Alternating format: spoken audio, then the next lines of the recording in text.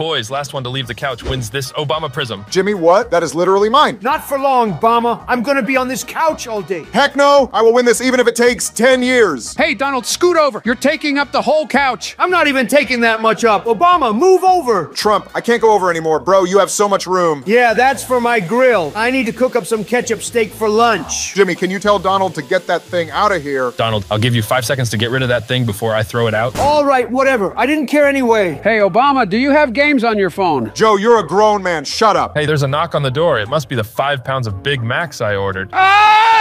love Big Macs. Wait, I don't like Big Macs. No. Joe, you're out. Okay, it's just you two now. Joe's a buffoon. Brock, I'm getting that prism. No, you won't. Oh, really? We'll see, Barry. Boys, it's been two days. Here's an offer. If you get up, I'll give you the Obama sphere, but the other will get the prism. I want that sphere. All right, here you go. Congrats, Barack. You win. Obama sphere activate. Rah! Obama prism, use drone strike. Hey!